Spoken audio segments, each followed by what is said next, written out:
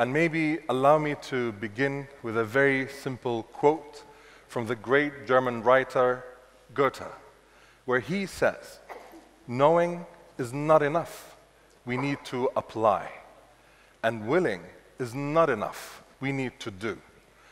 And frankly speaking, when we think about think tanks, and when it comes to the issue of talent, it's the application, it's the result, it's the final outcome that matters the most, and it's the one thing that we're all being judged. Are we delivering? Are we producing? Are we able to take our thinking to the next level? And if we think about think tanks in terms of their ability and how they're able to take things to the next level, we always reflect on one thing that is the most critical and the most important outcome. What are the results and how we can achieve that and how far we can go. Now that they took all the furniture away, this, in a way, explains why I had to hide behind the podium, and now I can be more of being myself. You see, the key word today is talent. And all think tanks, no matter how great or big or magnificent they might be, it boils down to the simple ethos of the individual, the thinker, the one who has that magnificent sponge, or the one who actually can reflect and think and be able to see into the future. You see, it is in a form of a circle. Sometimes it has a beginning, sometimes it doesn't. Sometimes we hope for an end, and maybe it doesn't. It's an ongoing process of developing ideas and thoughts. What I'm trying to do today is to share with you three main reflections. That's all. Trying to trigger some sort of thinking, some sort of deliberation. No specific information, nor data, nor numbers or knowledge, simply a reflection, a lazy form of exercise for the sponge between my own ears. The first reflection is this What do you mean by talent? And how we can cultivate that talent? And where can we find actually the talent? Is it something that we bump into? Is it a coincidence that we need to look into? Or it's a deliberation of a process where you have specific tools, specific systems of identification, looking into those who are important, who are different, who are basically unique, who can do what others can't. You see, think tanks are in the business of envisaging, imagining the future. Well, that's old story. I argue, given what we've seen with the pandemic, it's now in the business of creating the future, of designing the future, of being ahead of ourselves, and I would argue only through true talent that we can do that. Therefore, can we find the talent? How can we develop it? And if we did find the talent, if we did discover the talent, how we take that talent to the next level that it actually deserves. The second reflection all think tanks are based on thoughts and ideas. It's based on this ability to generate something that we haven't seen before, maybe connecting invisible dots, or being able to move forward with our imagination, creativity, and ability to take things to the next level. Having said that, though, without proper understanding of the freedom of thinking, freedom of expression, being able to constantly allow these creative minds the different approaches of how we can imagine, if we don't have the necessary platform, if we don't offer the necessary opportunities, that is not going to take place. It will not happen. As simple as that. Therefore, as we emerged as think tanks, and as we look at the individuals who are these think tanks, that space, that ability to take things to the next level is absolutely important.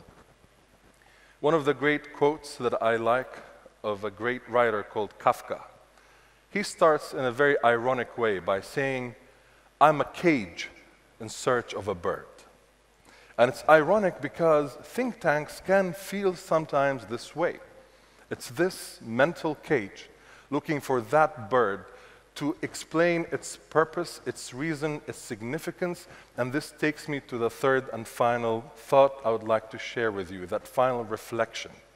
How can we become something more than a cage, and how we can go beyond the assumptions of why think tanks even need to exist, or need to explore, or need to develop. How can think tanks move beyond the conventional ways of looking at them? Are think tanks there to validate what we're trying to say, what we already know? Is there any added value? Are we going to vanish at some point because we have some magnificent computing capabilities of certain intelligence that will take us to the next level? Frankly speaking, there's nothing that can beat the human potential. It is that ability to create, to innovate, to take things to the next level that we need not to forget and to constantly reflect and think about.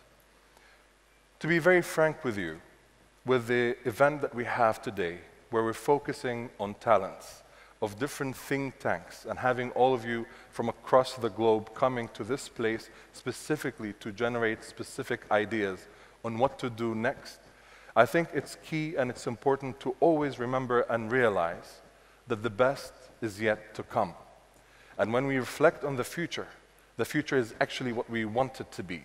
What kind of challenges we can envisage, what are the opportunities that we can create, and what are also the areas that we are missing that we need to cultivate. To be very frank with you, as we move forward with our debates and discussions, hopefully in the next uh, day or so, although this event is just one event, I think that exercise of constantly reflecting on all the thoughts and ideas should not just end by the end of this event. And frankly, we should be able to take this discussion even further and move forward with how we need to look into this, how we can understand it, and what we need to do in terms of our absolute collective wisdom and taking things to the next level. To conclude, today is not just about trying to get information and knowledge.